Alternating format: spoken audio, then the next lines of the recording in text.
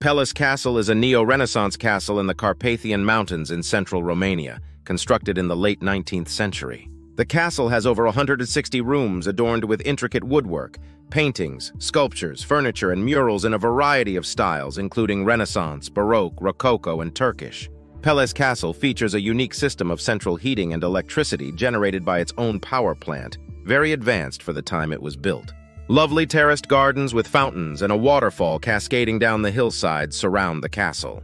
Bram Stoker's novel Dracula has helped associate the castle with vampires, though connections to real historical figures like Vlad the Impaler are tenuous.